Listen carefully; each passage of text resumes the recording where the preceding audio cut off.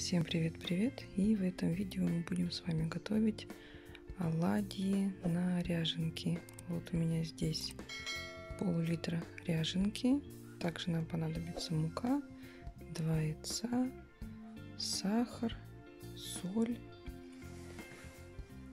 сода и в принципе все.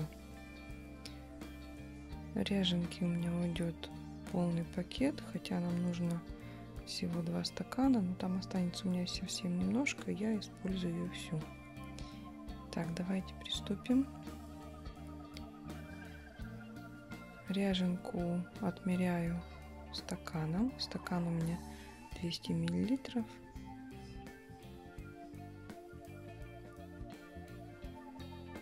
И в принципе, если у вас такой же небольшой пакет ряженки, как у меня, можно полностью его выливать туда, где будете смешивать все составляющие. Потому что вот видно, совсем немножко у меня осталось. И полностью использовали пакет. Дальше мы добавляем соду. Открыла не с той стороны. Соду добавляем к ряженке. И решила все-таки перемешать этой же ложкой. Дальше два яйца в отдельной миске. Соединяем с шестью чайными ложками сахара.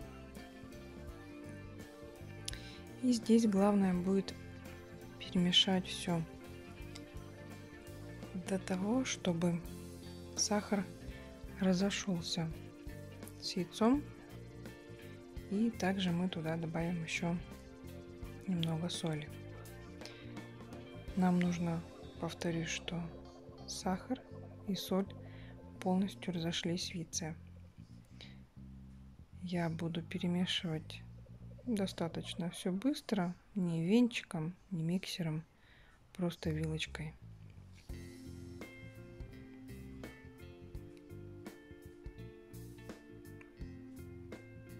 Ну, можете, конечно, перемешать это все либо венчиком, либо миксером. Дальше мы яичную смесь соединяем с ряженкой и сейчас будет происходить реакция прям на глазах будут появляться пузырьки за что я люблю это тесто. Вот видно эти пузырьки. И сейчас мне нужно в эту массу добавить муку. Муки 400 грамм.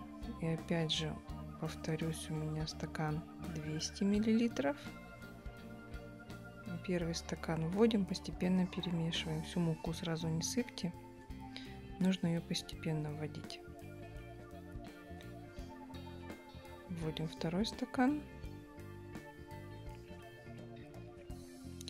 И дальше наша задача будет состоять в том, чтобы очень хорошо перемешать все тесто и избавиться полностью от всех комочков.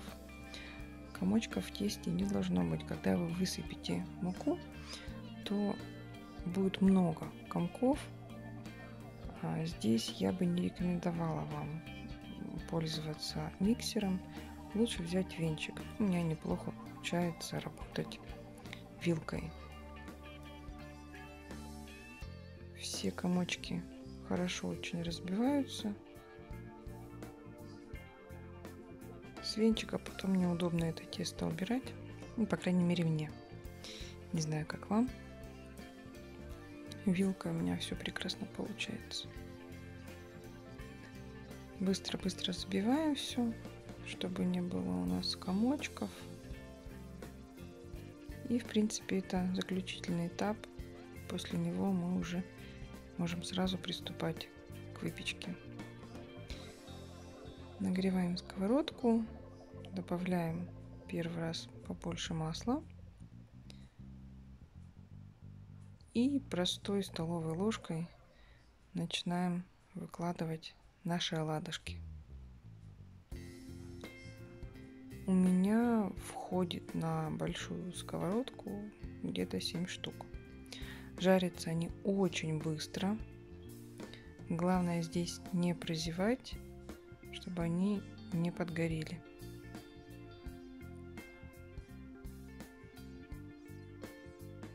Можно, конечно, их поменьше делать и побольше. Ну вот у меня входит 7 штучек. Пока мы заканчиваем выкладывать оладушки, первые у нас уже поджарились. Сейчас мы будем с вами их переворачивать. Переворачивать мы будем их вот такой вот лопаточкой фикс прайс она немножко пострадала, но это не влияет на ее способность в переворачивании блинов и оладышек. Блины она тоже также хорошо переворачивает и с оладышками тоже хорошо справляется. У нее тоненький носик, она хорошо подцепляет и не нужно не помогать ни вилками, ни пальцами. Здесь немножко поигрались обратную сторону все.